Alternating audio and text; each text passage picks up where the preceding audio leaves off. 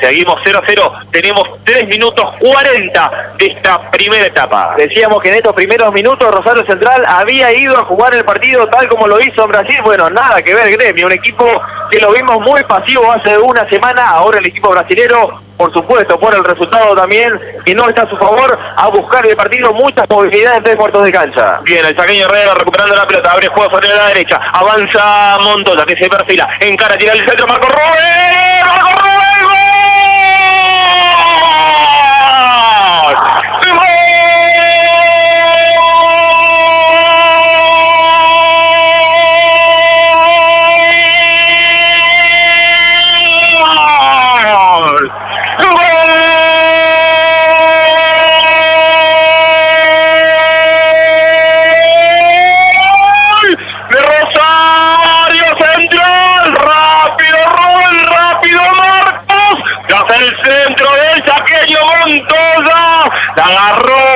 el botín zurdo, el arquero Groe que no la pudo retener, la mandó a guardar el goleador, el capitán que se recuperó para esto, se recuperó obviamente para ayudar a su equipo a estar arriba en el marcador, Rosario Central 1, Gremio 0, cuando llegamos a los 5 minutos de juego, rápidamente gana el canalla. Había salido a buscar el partido del equipo brasilero, por eso mucha tranquilidad de Montoya para manejar la pelota en tres cuartos de cancha, ninguna presión tenía el saqueño y qué bien siempre Marco Rubén metiéndose entre los centrales, ganándole la espalda a Freddy, allí el número 9 es infalible, otro gol para Marco Rubén y Rosario Central se ilusiona en Copa Libertadores. Festejo alocado mirando a toda la popular. Tuvo Marco Rubén, suma 6 en esta edición de Copa Libertadores, 9 para quedar en la tercera colocación de goleadores históricos de Rosario Central en la Copa más importante del continente. Lo decías, Matías, la mejor forma de defenderse de Rosario Central era atacando. Sí, por supuesto, un Rosario Central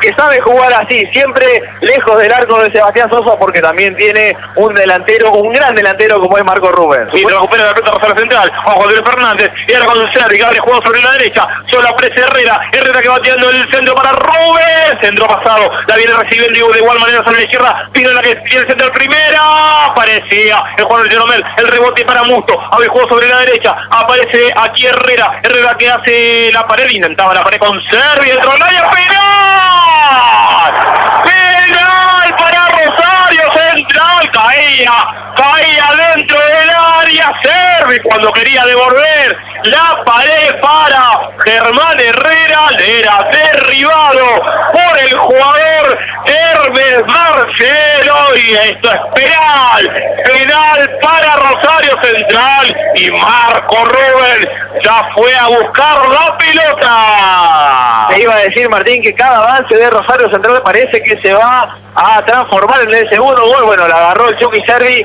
lo decíamos en la previa. El mejor momento del número 10, sin lugar a dudas, es Rosario Central. Muy movedizo dentro del área, se lo llevó puesto, se lo comió, le dejó la patita Marcelo Hermes. Bien cobrado el penal, vamos a ver si resuelve la historia Marco Rubén. Se preparan los celulares para filmar, para dejar en el recuerdo este penal de Marco Rubén que podrá sellar, ¿por qué no? El paso a los cuartos de final. Avanza, ahora sí el goleador.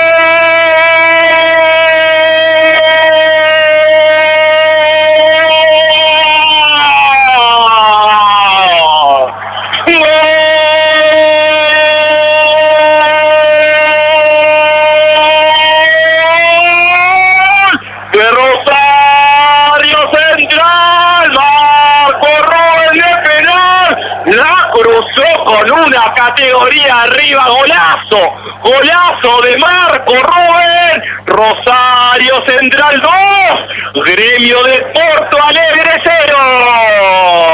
Pedía a la izquierda el arquero brasilero, pero sacó un remate cruzado infalible, el número 9 de Rosario Central. Hacia allí también había sido el arquero, pero imposible. Nada que hacer con ese remate que se transformó en un gol y parece que la historia ya en 25 minutos está sentenciada. Tachen todo lo que le había comentado de Marco Rubén del tercer escalón de, la, de los historiadores, de los goles, perdón, eh, los goles con historia en la Copa Libertadores, ahora está en el segundo puesto con 10, vamos a ver si llega al primer puesto, el que más tiene, tiene 12 en la Copa Libertadores para Rosario Central. Y gana Rosario Central, pero este no lo deja tranquilo en absoluto a Eduardo Codel que le pide más a sus, co- a sus jugadores. Bien, corner para Rosario Central, levanta su mano derecha, Franco Servi, tiro, tiro de esquina desde la derecha, levanta la pelota, ganando el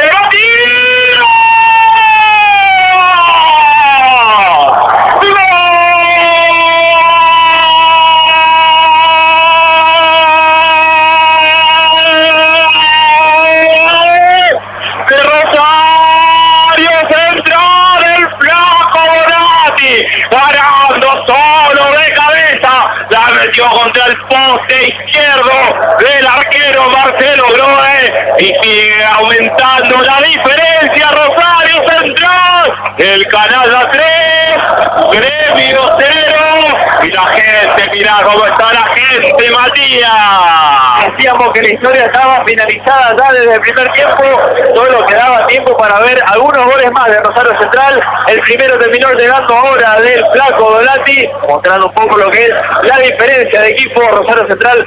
Sin lugar a dudas, está varios goles por encima de lo que ha producido Gremio. Y si tenía que ganar alguien de cabeza era el flaco, justamente un metro 92 para él y además siguen sumando goles en esta Copa Libertadores, el cuarto en lo que va de esta edición 2016. Bien, el flaco Donati que se lleva muy bien con este arco aquí que tenemos a nuestra derecha. Gol ahí a Banfield, gol ahí también, recuerdo, bueno, al Palmeiras, a San Martín de, de San Juan. Sí, se lleva muy bien también con Copa Libertadores. El flaco siempre ha anotado goles importantes para Rosario Central. Hoy un gol cuando la historia estaba definida, pero como dice Agostina, siempre ganando en el área rival.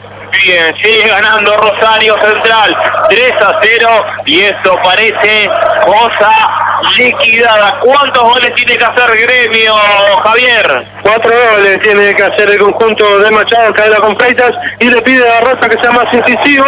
Tiene seis goles este año, pero todos en el Gaullo.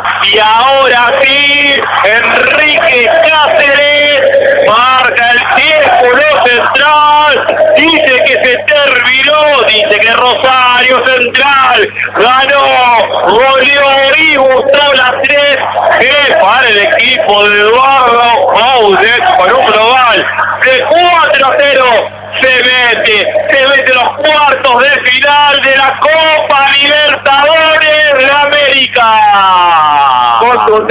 Rosario Central, había venido de Brasil con un gran 1 a 0, nunca bajó los brazos, siempre siguió luchando, siempre fiel a su estilo, presionando, yendo a jugar al área rival, presionando cada sector de la cancha, muy superior al equipo argentino, muy superior al equipo brasilero, gran trabajo en conjunto de Rosario Central, gran protagonista de esta serie también Marco Rubens con su gol en Brasil y dos goles también aquí en el gigante de Arroyito. Bien, así la gente de Rosario Central ovaciona. Y mira, es el equipo de Coder. Y si Coder es gran responsable que Rosario Central hoy esté en los cuartos de final.